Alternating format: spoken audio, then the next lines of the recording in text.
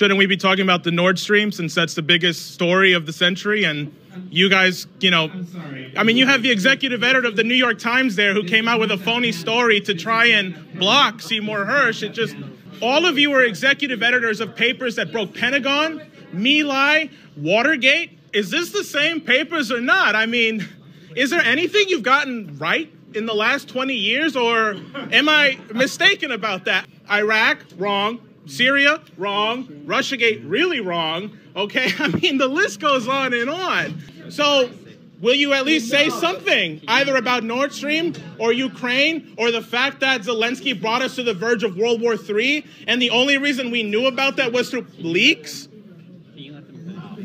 I'm, go ahead. It's a free speech event, right? You guys are the press. Well, I just want to hear what they have to say. Go ahead. I'm done. Wait your turn. Wait your turn. You're not going to tell them to you. Come.